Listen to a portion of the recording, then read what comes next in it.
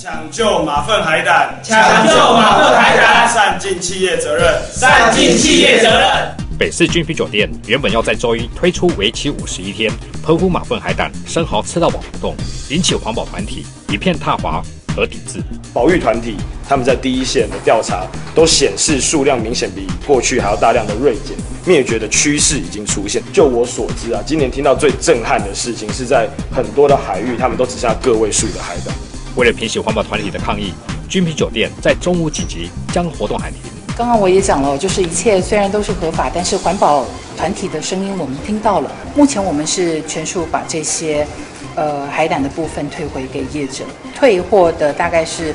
一两百颗左右。叶子强调不会担心活动取消会影响到业绩，但是他们也期待，如果这个对生态上没有任何的影响哦，那我想我们还是会继续寻找这个新鲜的食材来给顾客们。所以在政府还有这个环保团体以及业者当中，我们可以建立一个平台，让我们避免以后还有这样的情形发生。生物中心台北报道。